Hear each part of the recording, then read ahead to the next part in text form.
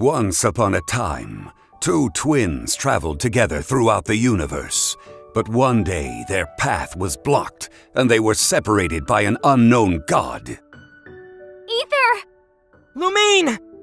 And now the two of them are finally reunited in the Genshin Impact version 1.5 special program! Yay! Welcome, everybody. I'm Zach Aguilar, and I voice the male traveler Aether in Genshin Impact. Hey everyone, I'm Sarah Miller Cruz, and I voice the female traveler, Lumine. It's so great that we're together for this program, especially since our characters finally had a chance to meet in version 1.4. I know, tell me about it. I'm so glad that they invited me to the show. I've always been super curious about what it's like to do a special program. It always looked like you and Corina were having so much fun in the previous ones. Hey, that's what the special program's all about. And today certainly won't be an exception, as we are joined by Keith Silverstein. Dun, dun, dun. Oh, I like the trumpet there. Very nice. Hi, everybody. My name's Keith Silverstein, and I voice Zhongli, consultant for the Wangsheng Funeral Parlor in Genshin Impact. Yes, Mr. Zhongli himself, who, spoiler alert, is really Morax. That's right, the Geo Archon, widely respected as Rex Lapis, the god of contracts himself. Whew, talk about a list of titles. And that is exactly why I leave the introductions to you, Zach. Honestly, it's so hard to express how much we love your performance in the game, Keith. And by we, I obviously mean myself and a lot of other players. Oh, that's so sweet. Thank you.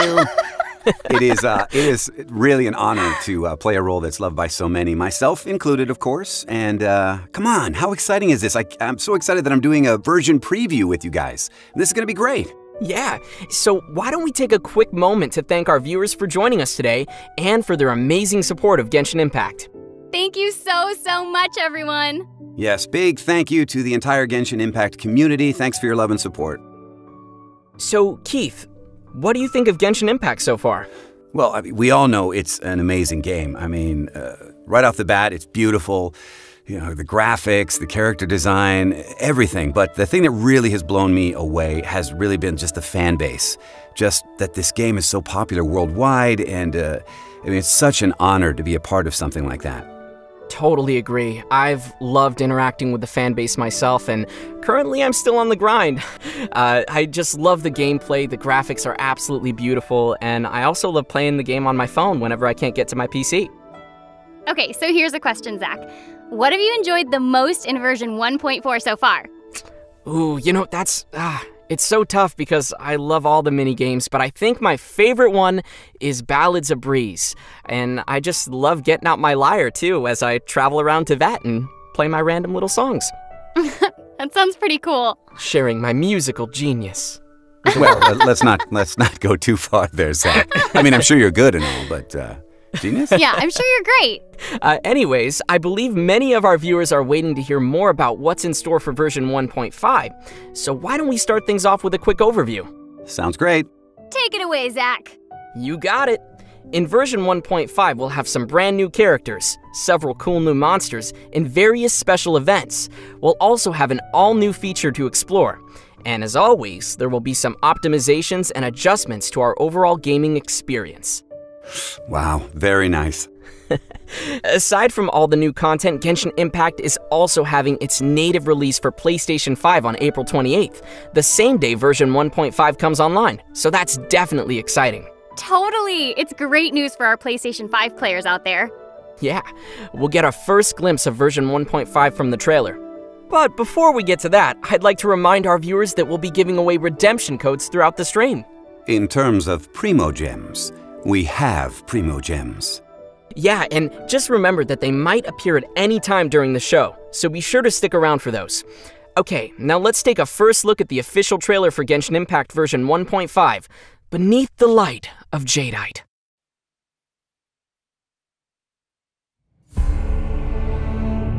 If it is fated, we will meet again.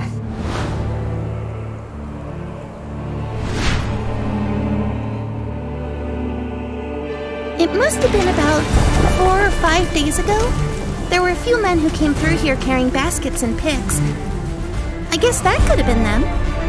And there was a child staggering in front of them. This is I, Azhdaha, forged of elemental crystal.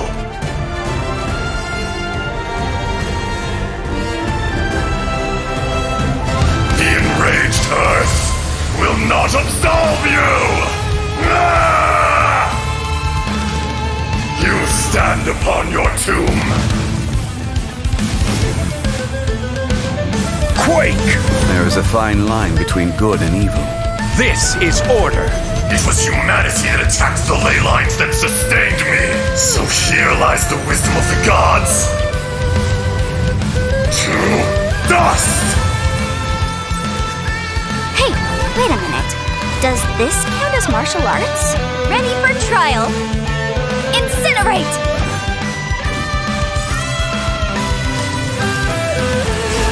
Breath of the flame!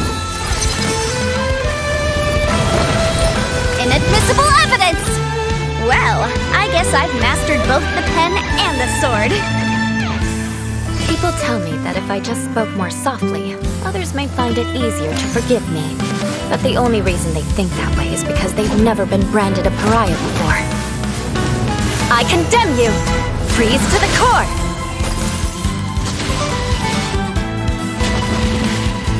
Eye for an eye!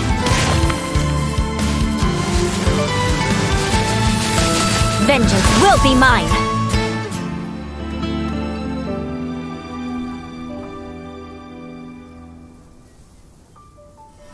This Serenitea Pot is all yours now.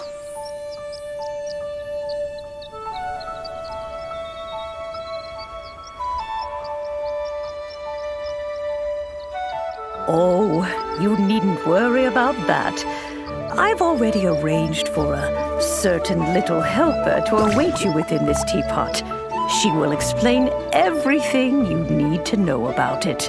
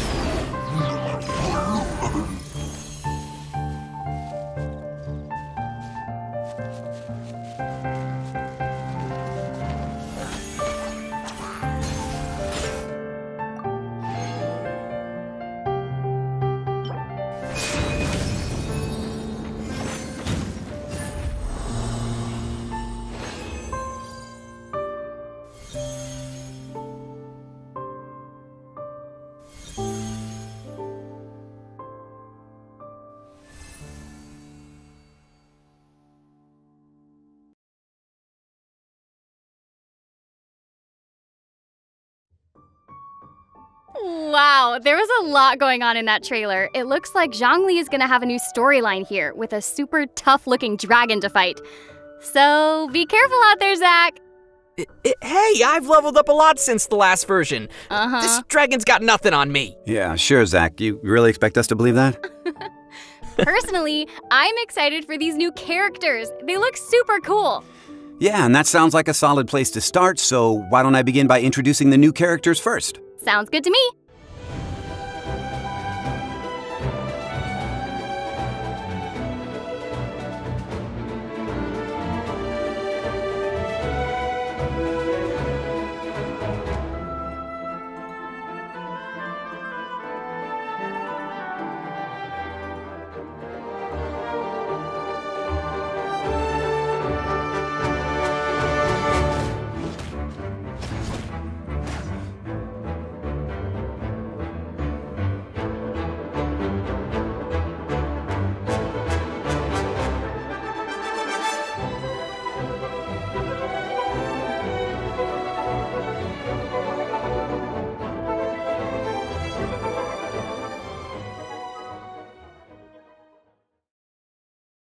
You want to learn some Favonius blade work?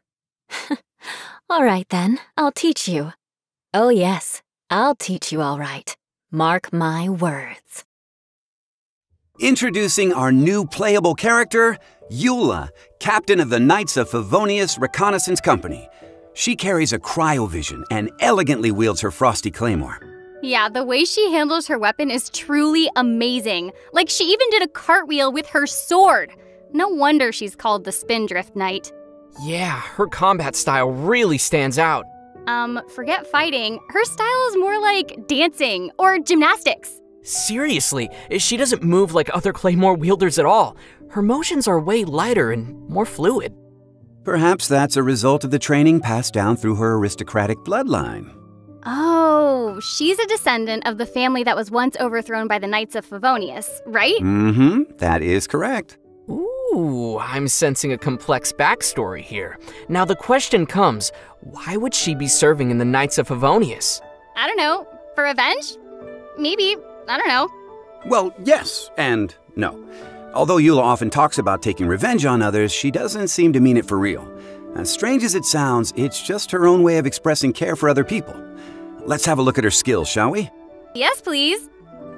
With her elemental skill, Ice Tide Vortex, Eula slashes swiftly, dealing cryo damage. However, her elemental skill has different effects depending on whether you tap or hold the skill button.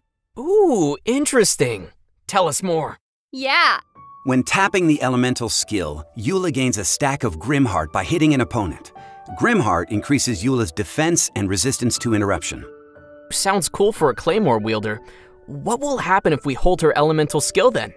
I was hoping you would ask that. When the skill is held, Eula consumes the stacks of Grimheart, and surrounding opponents will have their physical resistance and cryo resistance decreased. Now, each stack of Grimheart consumed will be converted into an Icewhirl brand that deals cryo damage to nearby opponents. Ooh, I'm loving her Grimheart mechanic already. Yeah, me too. Eula's Elemental Burst, Glacial Illumination, deals cryo damage to nearby opponents and creates a Lightfall sword that follows her around for a certain duration.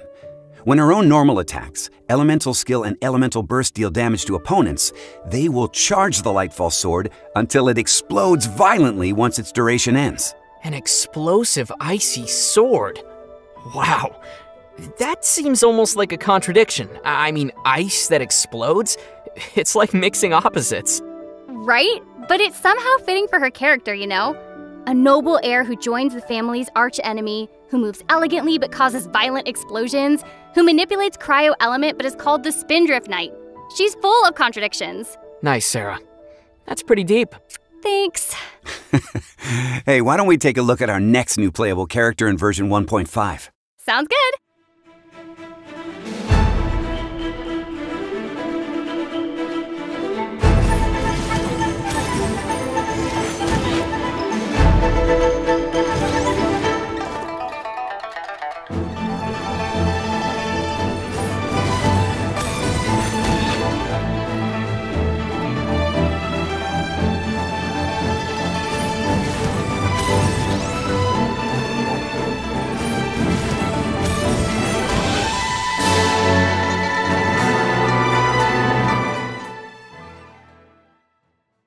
Need a cure for insomnia? Let me read you the history of the development of Liyue's legal system. None of my friends have ever lasted longer than 20 minutes. The other new playable character in version 1.5 is Yanfei, a legal advisor active in Liyue Harbor. She's a catalyst wielder and holds a pyrovision. Interestingly enough, she happens to be part illuminated beast. Oh, just like Ganyu. Exactly.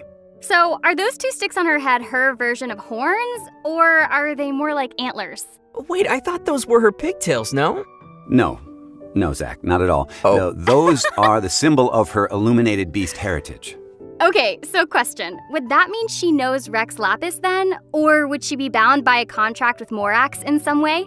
You mean like as a legal advisor for the god of contracts? That would be quite the big title, but yeah, something like that? Even Morax doesn't have command of all the illuminated beasts. Yanfei is one of the few that didn't sign a contract with him. Oh, why is that? She was born in a peaceful era. Therefore, there was no need for her to fight in any cruel wars like her predecessors. Interestingly, as a free illuminated beast, she's put herself in a profession where her job is to interpret laws and help others deal with conflicts and disputes. Okay, so her work is all related to contracts, right? Because I know I saw some sort of gigantic pyro stamp slamming down when she attacks. You know, like the kind of thing you'd see used to stamp a contract?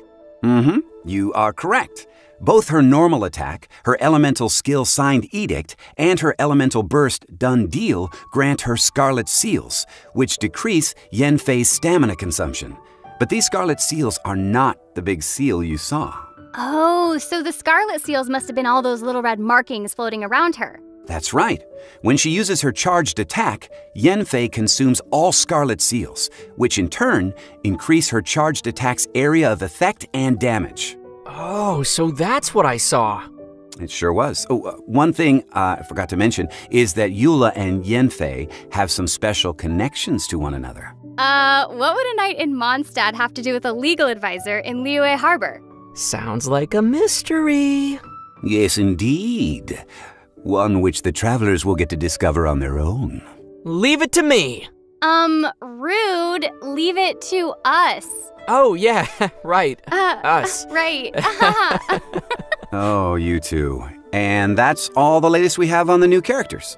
Wait a minute, didn't you forget something? Uh, I don't think so. You know, I, I have a pretty good memory, Zach.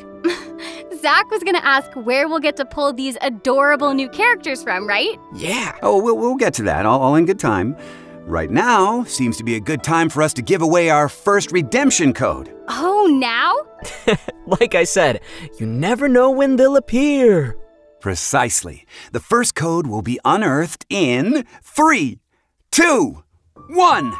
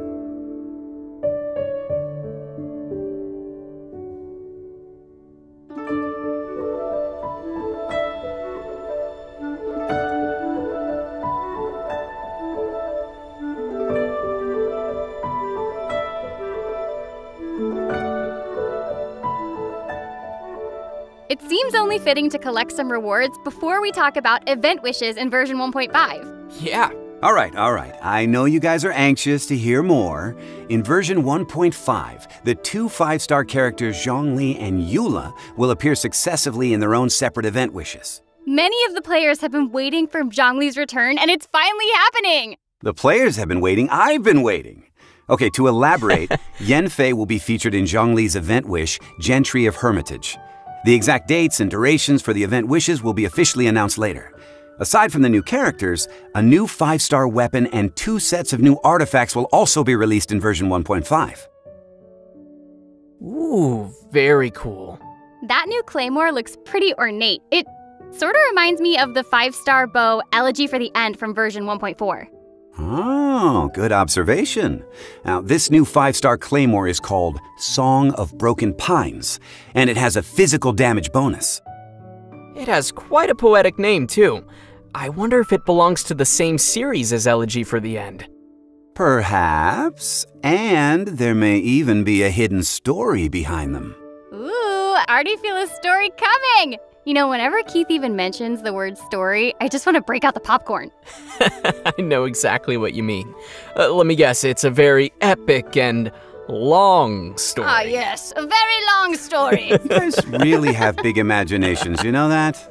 Look, aside from the weapons, there will be two sets of new artifacts for players to collect Tenacity of the Millilith and Pale Flame. Ooh, awesome! Where can we get them? If past updates are any indication, my bet would be that they'll be in a new domain. And that is correct. The new domain, Ridgewatch, will be available to travelers after the version update. Now, it's located in the mountainous area that connects Mondstadt and Liyue. Finally! We're getting a teleport waypoint there. That's always been one of the harder areas for players to reach. Yeah, I bet a lot of people have used their portable waypoints to get there. Now we can save those for some other places. Now, in addition to the new gear, some new storylines will be released too. After the version 1.5 update, Diona's Hangout event and Act 2 of Noelle's Hangout event will be available for players to enjoy. Act 2 with Noelle? That is so sweet. I really love the Hangout memory illustrations with Noelle.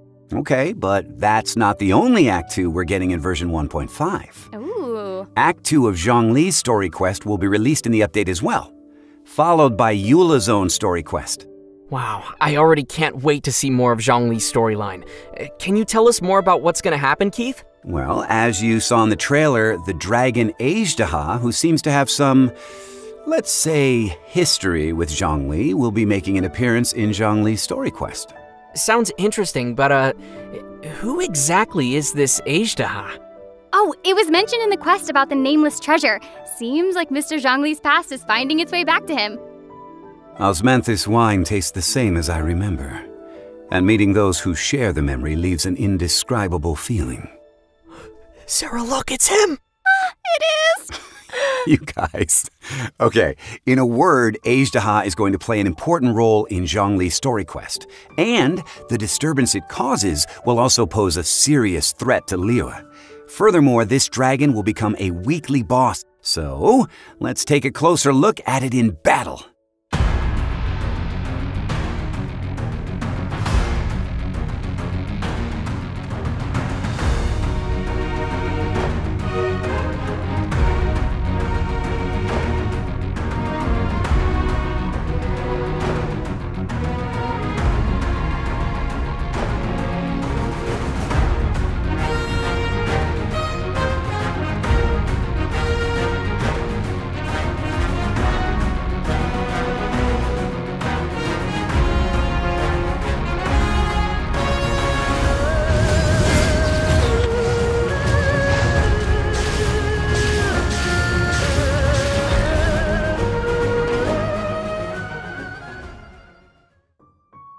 All right then. I don't know. It actually looks kind of cute. Uh oh, Sarah wants a new pet now. yeah, kind of cute, like it's gonna rip off my head. No, I mean it's got that little cute smirk happening. I think it's kind of cute. Oh, that's true. Right? And and it's got those branches on its tail and and remember this place? There was a girl standing under a tree mumbling about the awakening of some most awe-inspiring individual. Remember? Oh, right. Yeah, so she was talking about Azhdaha. She was.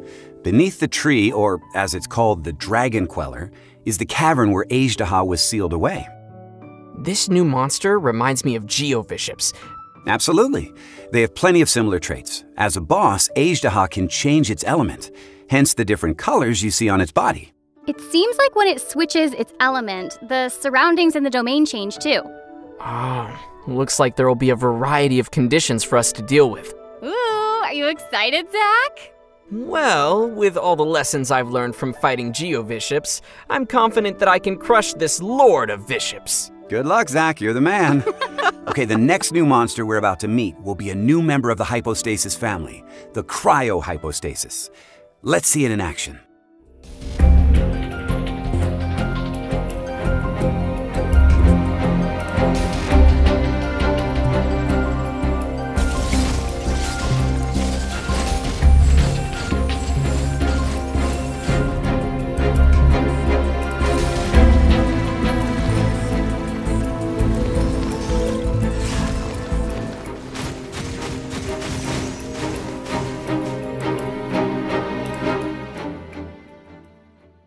When the cryohypostasis reaches low HP, it enters a shield to protect itself and recover from the damage.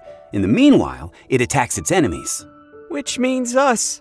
Huh, but it seems like we'll never be able to finish it off if we can't break the shield. So, how can we take its shield down?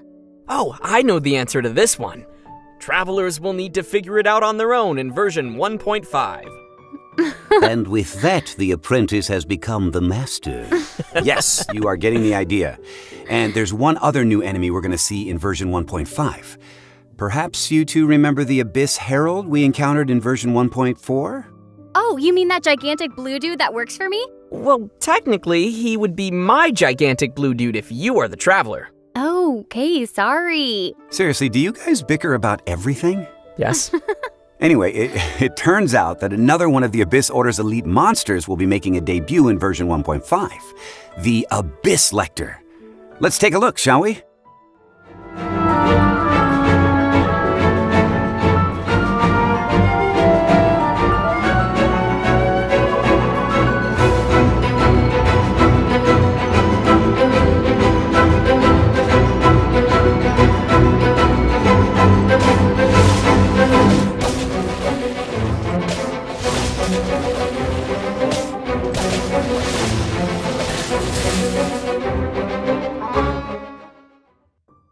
Okay, one thing to be noted is that some of the Abyss Lector's attacks will decrease characters' elemental energy once they hit their opponents, so be sure to dodge those. If only it was that easy. Yeah. Hmm. Okay, all right, Zach, I know you well enough. What are you thinking about over there? Well, the Abyss Herald we met before was like an assassin, whereas this Abyss Lector we see now seems more like a mage. The Herald could manipulate the Hydro element, while the Lector manipulates the Electro element. Now that I think about it, what if I could put them on my team? Well, I mean, yeah, practically speaking, that would make a very good team. Well, that could be what the lost sibling was thinking. I'm sure the lost sibling said, I will have order. and now we have the Abyss Order. Well, that's everything we have for our new monsters. So next, we will get a peek of an all-new permanent feature called Serenitea Pot, which will be available starting in version 1.5. Zach, I'll leave this part to you. Got it. After we helped the city get through its crisis, the Adepti of Liyue have taken note of our hard work.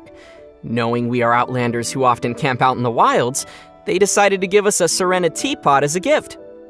Camping in the wilds? Zach, we never camp. Yeah, we we just keep adventuring through the night. Yeah. Serena Teapot. I like the name. So, is this Serenitea Pot sort of like Madame Ping's magical teapot? Yeah, it's what's known as a realm within. Ooh, it sounds exciting. That was really nice of them. I hope it wasn't too difficult to make. Well, the Adepti of Liyue are mighty illuminated beings with great power. Creating a realm within is nothing but creating a little trinket for them. Keith, you sound so cool. Uh, You anyways, sound cool. oh, thanks. Let's take a closer look inside this so called teapot. For starters, there are three different realm layouts for us to choose from Floating Abode, Emerald Peak, and Cool Isle. Wow, so this is what the Adepti would consider just a trinket? Inside the realm, you'll find Tubby, a teapot spirit who manages all the general affairs in the realm within. Oh, just like a butler. Oh my gosh, Tubby is so round and cute! I love it! And it plays an important role in our realm, too. When we raise its trust rank, it will give us some rewards and unlock new features for our realm. For example, the three different realm layouts. We'll have to increase our trust rank if we want to unlock them all. Okay, so question. If I rub Tubby, will it grant me three wishes? What are you talking about? Tubby's not a genie. Okay, okay. I was just thinking, you know, magic lamp, magic teapot. Uh, So, anyway, how do we increase trust rank with Tubby then? Whenever we create new furnishings, Tubby's trust increases. Moreover, with the help of the teapot spirit, we'll collect various blueprints from different sources. Once we've collected the necessary materials for creating furnishings, we can make those furnishings in the Serenitea Pot and use them to decorate our home. Of course, we can also buy some furnishings directly from Tubby. Good. I'd like an ornate glazed lily patterned incense burner. Really? That's a super specific choice. Well, I'm a super specific guy. Anyway, this Serenitea Pot will be a large personal realm that players may manage. They can take their time considering how to decorate the space and can fill it with the things they like to make it feel like home. I see. Okay, uh, then let's prepare some radiant grade Noctilucous jade for starters. Okay, first of all, your standard of home is way too high. And that's wrong because. I mean, you know what? You do you. You do you. yeah, totally. well, if we are short of any practical decoration ideas, we can also apply to enter our friends' realms for some inspiration. We can just stop by for a visit and snap some nice photos. Ooh, that means we can throw parties in our personal realms. That'll be so fun. Are you gonna put me on your ultra exclusive guest list, Zach? nope. Zach! Just kidding. you know, we're going from roughing it in the wild to luxurious house parties. I'm really excited for this one. Yeah, and the realms seem very large, too. Large enough to unleash your imagination. Yeah, we can create views outside the house and arrange the layouts of furnishings. And as we put more furnishings into the Serenitea Pot, our adeptal energy increases, enabling the realm to produce more realm currency. So, more furnishings increase adeptal energy. I like the sound of that. I knew you'd like that. So, with this new realm currency you mentioned comes a new way of exchanging it, I suppose? That's right. We can exchange realm currency for a variety of materials and rewards. And sometimes a teapot traveling salesman carrying realm treasures might appear so be sure to check it out. Noted. Whew, there's already a lot on everyone's to do list for this feature. And there might be even more to come in the future. Let's wait and see what the Serenitea Pot holds for us in store together. I will, and in the meantime, I will stuff my realm with satisfying furnishings. All right, just please don't make Tubby work too hard. I won't, and as always, I'm sure the travelers will cover my expenses. Uh, huh? Wait, um, wait a um, minute. What? Can we even afford that? Well, I mean, with the two of you together, you might be able to cover it. I don't have any. I don't think no. so. Okay, okay, I'm just kidding. you should have seen your faces right then. Anyways, that's all the news we have for the upcoming Serenitea Pot feature. In the next section, we'll get to learn about some exciting events that will be exclusive to version 1.5. But now it seems about time to give away our second redemption code. Yeah! More rewards! Practically speaking, the faster you act, the better. Goodies inbound in three, two, one.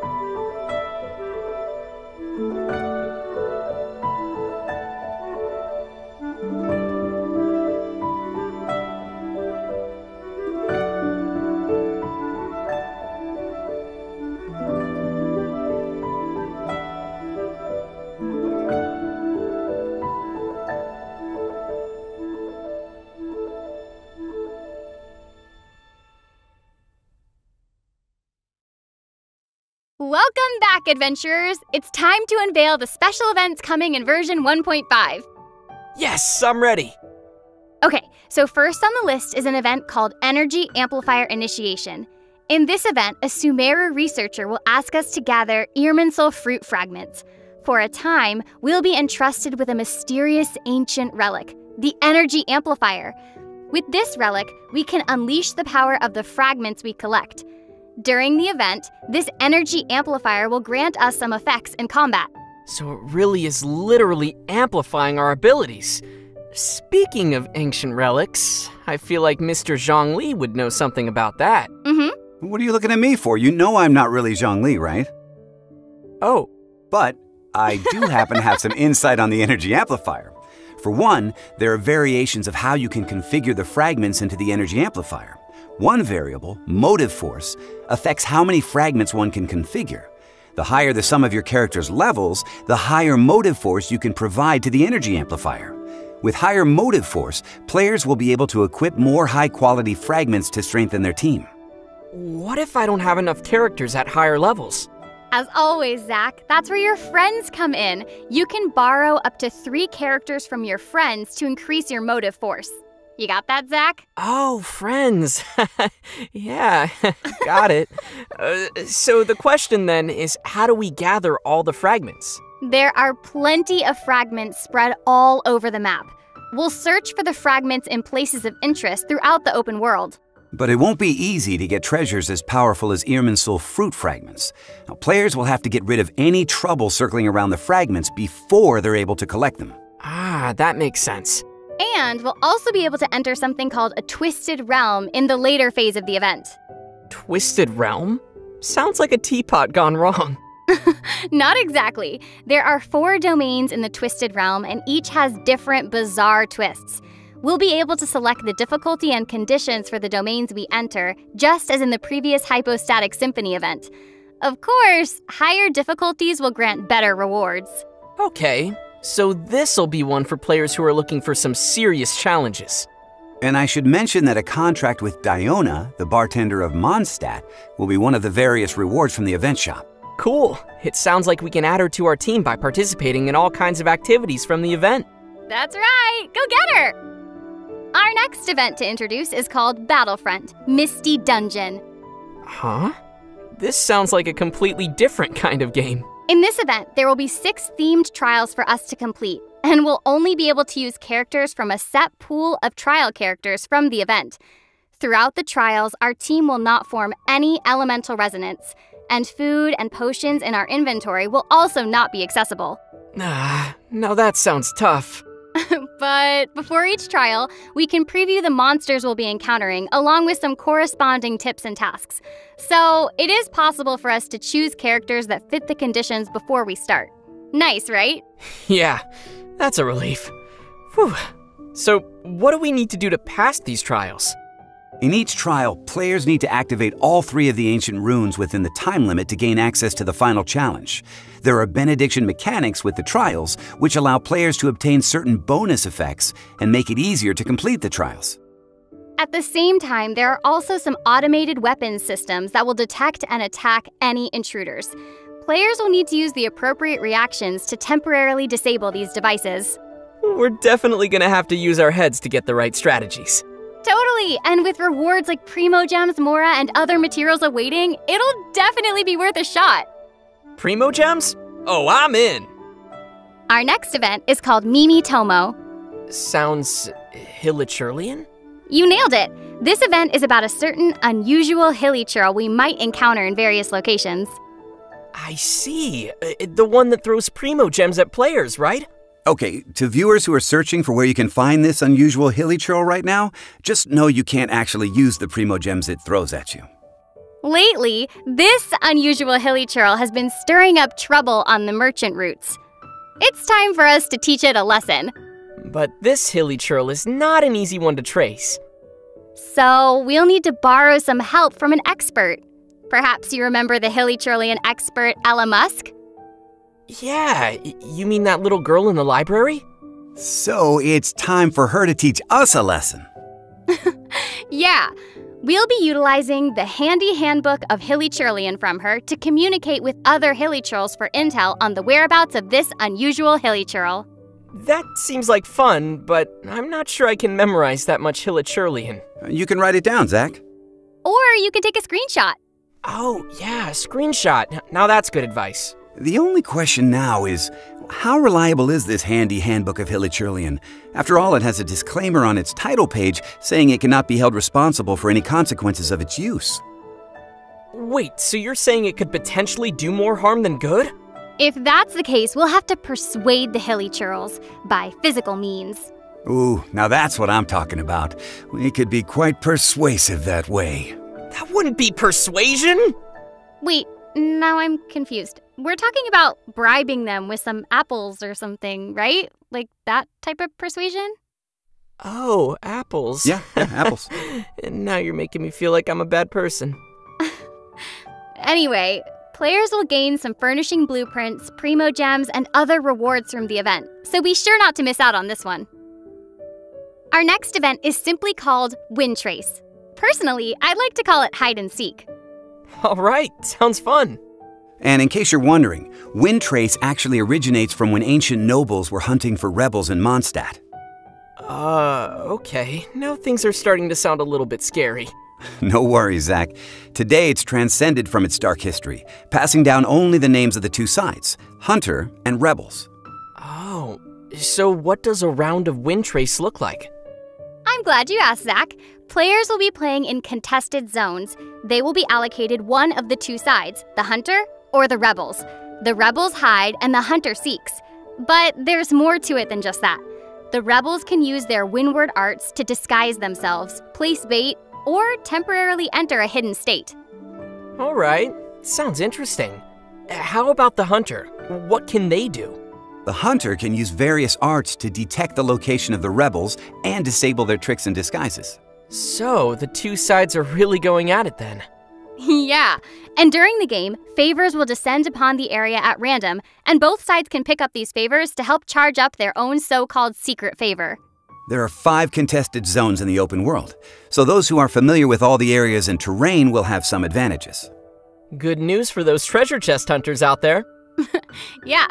Players will obtain Wind Trace coins from the event and unlock a variety of rewards, including a Wind Trace themed name card. But if you play the game in co op mode with your friends, or if you've already reached the daily limit of obtainable Wind Trace coins, then you won't be able to gain any more. Ah, I see. I hope you'll all enjoy this little game. Our final event is called Overflowing Mastery. Hmm, we had Leyline Overflow before, right? That's right. Only this time, we will have doubled talent level up materials. During the event, we will have three chances daily to collect double rewards using original resin from selected domains of mastery. If I'm not mistaken, this is the first time we'll have an event that doubles talent level up materials.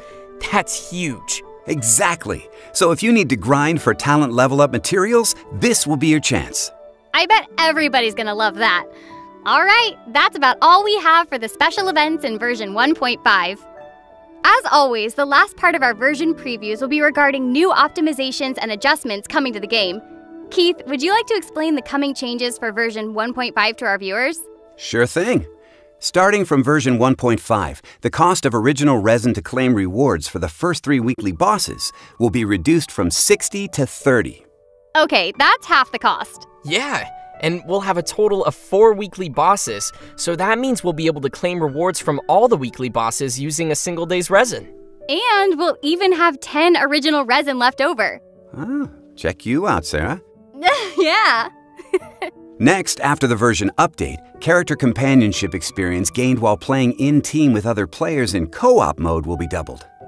So, if we want to accelerate our friendship with some characters and learn more about their stories, we can defeat bosses or clear domains with other players in co op mode. Oh, yes. No need to remind me on the importance of friends again. Oh, sorry, Zach. need some more of those. The third optimization will be about mailing alerts for when events are ending. After the version update, Genshin Impact will send mail alerts to players before any limited time events end. Yeah, considering all the unique gameplay and loads of rewards from those limited time events, it would be a pity to miss them. Definitely. For players who are too busy to check the end time of each event, the mail alert will for sure come in handy. Yeah, absolutely. Our last optimization, coming in version 1.5, will be about slimming down the game's overall size. Oh, that sounds kind of cool. With this optimization, players can manage the voiceover files they've installed. If you no longer want to keep the audio files for a certain language, you can delete the corresponding voiceover files manually. And that audio pack will not update in future version updates. I imagine that could save quite a bit of space. I know audio files can be massive. Aw, but what if they decide to delete the English voiceovers? No, don't delete us, please! Uh, don't you want to hear more of me? Well, there's not much of us in there anyway. oh, well, okay, yeah. I guess it doesn't hurt that much when you put it that way. No, no, no, it, it does hurt because Zhongli has a lot to say. So so please keep keep the English files. if you like us, then please keep the English voiceovers, everyone. And on that note, it's time to release the third redemption code to our loyal viewers. Yay! Are you ready? Three, two, one, go!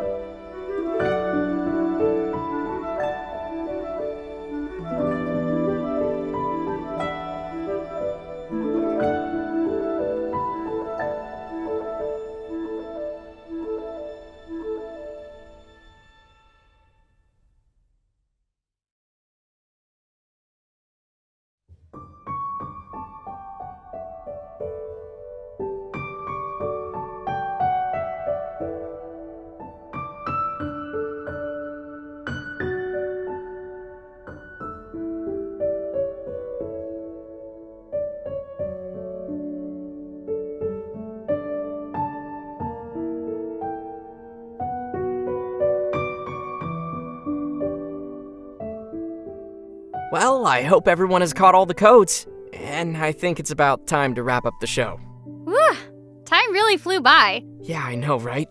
How did you like your first special program, Sarah? I've loved being here with you guys. It's so special and fun. Plus, the twins got to be reunited, even if it was only for a little bit.